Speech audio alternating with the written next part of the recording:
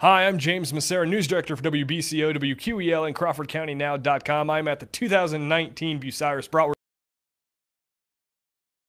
Bratwurst Festival Queen Sarah Beck. She is going to be a senior at Colonel Crawford High School. Uh, thanks for being here. First off, and congratulations. Thank you. Uh, a long process to get to be the queen. Uh, interviews, uh, you know, stage presence, all that kind of stuff. It's over. You're the queen. How's it feel? I'm happy that now we can get to the rest of the festival and all the crazy back to back stuff's over mm-hmm. for tonight. But I'm happy to be here. Um, uh, uh, what was kind of going through your head when the judges left? They were making their decision. You're just you're there waiting. Yeah, you got to watch the the princess get announced and things like that. But what was going through your head? At first, I was like, okay, the judges will be like a little minute. I feel like this year's gonna be tough. But then like me and Paige were sitting there. I mean, her getting more nervous and more nervous because I think we waited for like 45 minutes to an hour. and we got nervous because we're like, oh goodness, what's going to happen? So a little bit more nerves the longer yeah. it went. Oh, yeah. Um, now that you're the queen, you get to travel, you get to go to different festivals, represent Bucyrus and the Bratwurst Festival. Uh, what are you looking forward to the most about getting to travel as the queen? Something I look forward to the most, it would have to be um, one, getting to travel around with the Corps. I love them all. I love them all already. So I think we're gonna have a lot of fun.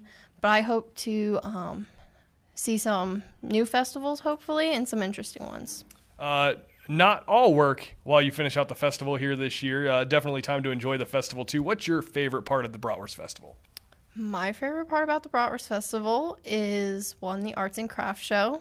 I think it's fun to go down and see all the homemade stuff.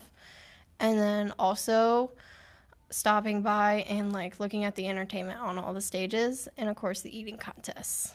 Uh, now, Queen was not the only award that you received uh, this evening. Uh, got Miss Congeniality as well, something voted on by your fellow contestants. Uh, so, what does it mean to you to get that kind of award where the other girls uh, voted for you? Um, it means a lot to me. It means that um, they saw me as a really good friend. They thought I was a friendly person, and I definitely wanted to be friends with everyone running this year.